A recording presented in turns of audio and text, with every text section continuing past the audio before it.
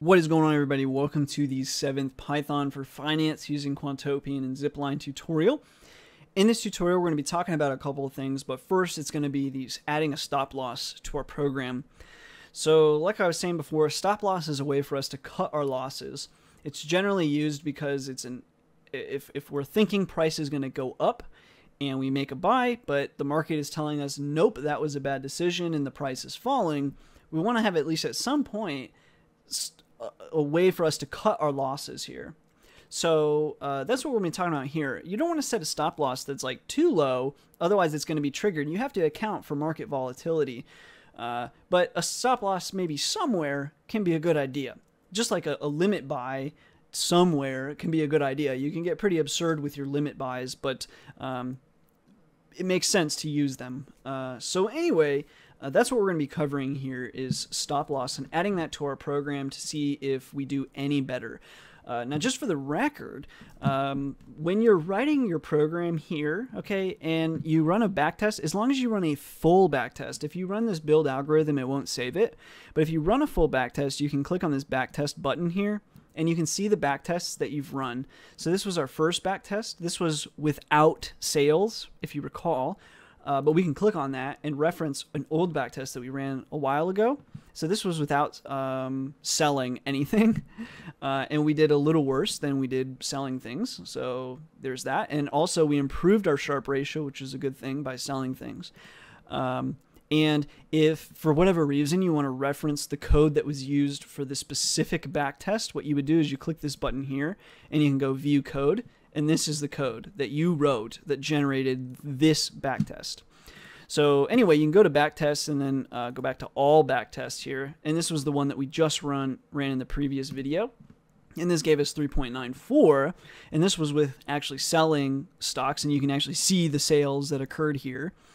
Uh, and uh, then up here, you can see that, it, like I was saying, the Sharpe did improve. But anyways, so going back to our algorithm, so you can write, you can keep updating the same script that you've been working on. You can always reference your old scripts because they save them. I don't know if they have a limit, but it seems like they don't, at least to me. So anyway, let's add the stop loss now. And to do that, you just add it in the order.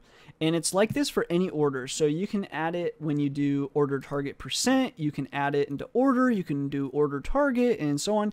Basically any order type you can add there. And again, if you don't know about the order types, you can always go to that the documentation here and look on this side here and there's ordering, right? So right on the left and to get to the documentation again, it's help help in API docs. You get here, here's ordering, and then wouldn't you know, here's all the options for ordering. You've got just tons of options, so uh, keep it in mind.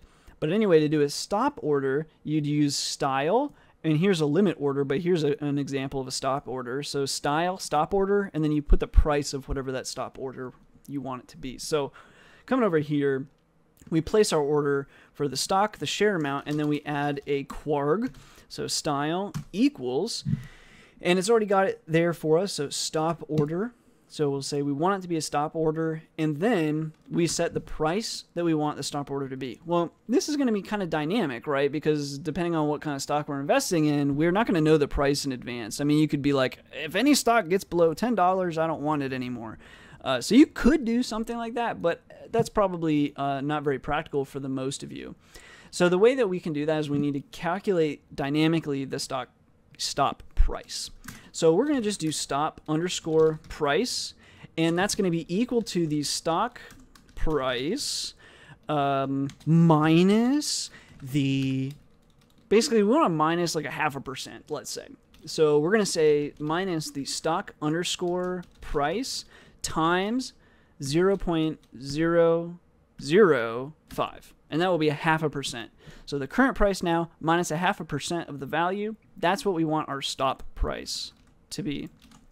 Okay, so we can just basically do that, and that's that. Uh, if we do do shorts, so you can you can short companies uh, with Quantopian. We'll talk about that later. But you can do that. And again, with stop price, you can have a stop price for shorting too.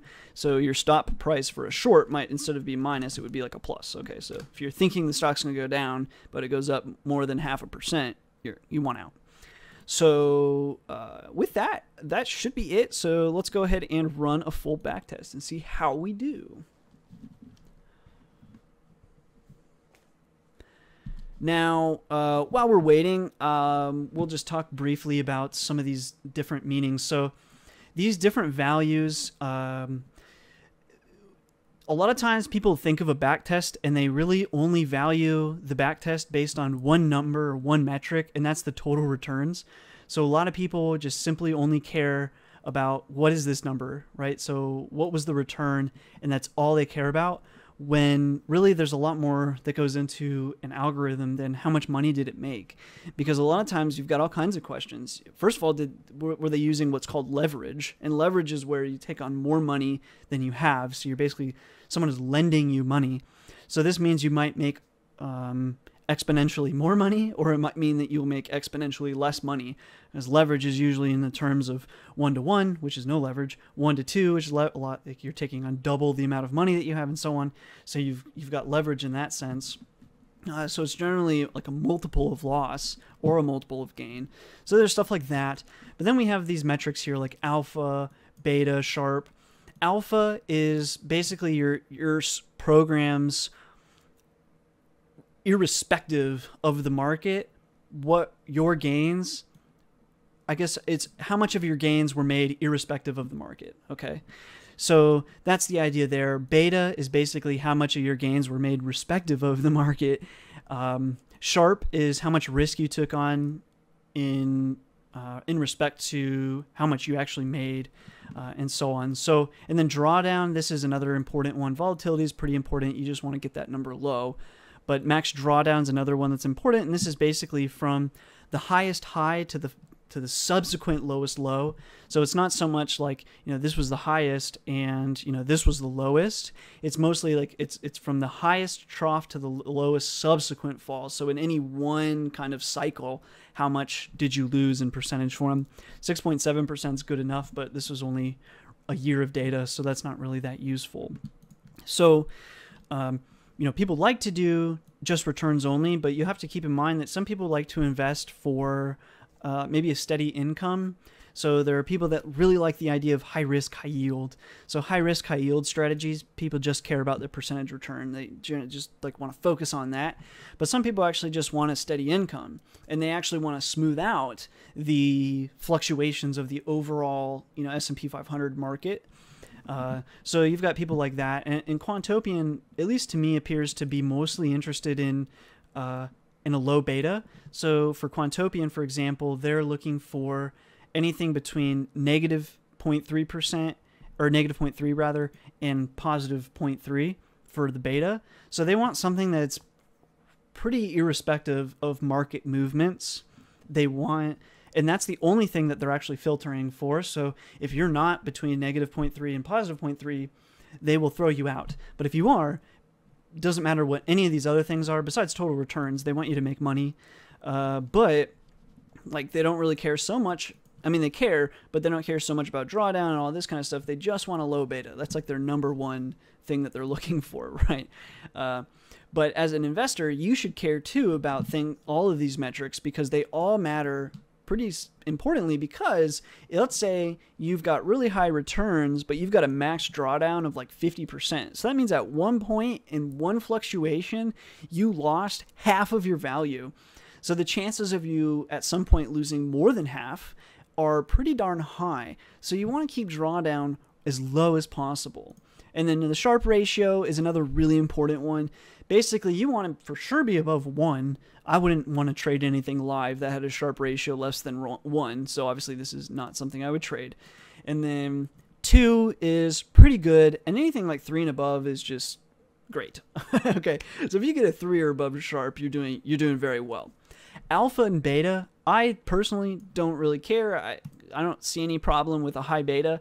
Uh, but again, it depends on who you're who you're asking. So Quantopian wants something that's basically not that involved. They want very low market exposure. So they want a low beta, but I wouldn't really worry that much about it. But alpha is pretty important, right? You want to have a strategy that performs well without just simply, you know, like because if you're if you're if you've got a strategy and a strategy adds risk, okay, as opposed to just holding things in the market.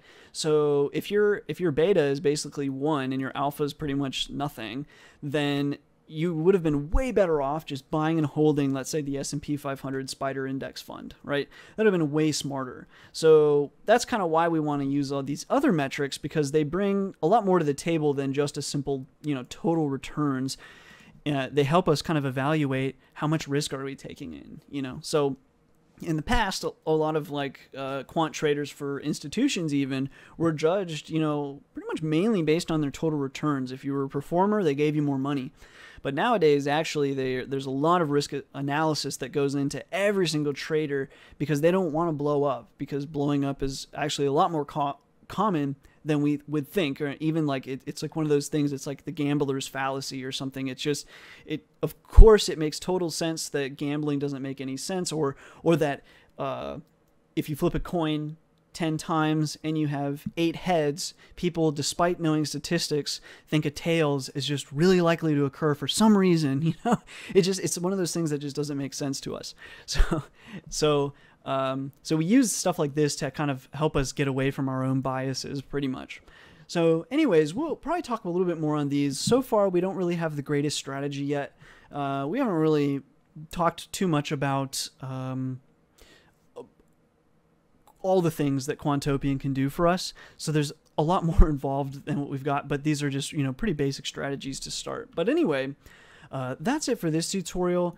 In the next tutorial, we're going to be talking about maybe searching for a strategy with, with beta. So for example, here with Quantopian, the question is, you know, they want between negative 0.3 and positive 0.3. How do we get a strategy in that number, in that range, so we can, in theory, enter the contest? Well, we need a strategy that's going to do both buy and short. Because with shorting, shorting is going to allow us to oppose the market directly. So that will help us keep a low beta. So that's what we're going to be talking about in the next tutorial because so far we haven't done any shorting, but we'll be talking about that uh, in the next tutorial. So stay tuned for that. Thanks for watching. If you have any questions or comments, leave them below. And until next time.